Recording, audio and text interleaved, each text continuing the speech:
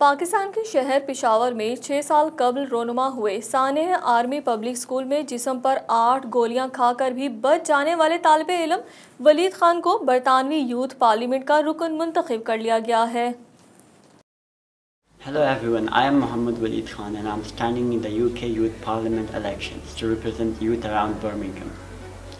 I am one of the few survivors of APS school attack that took place in Pakistan back in 2014.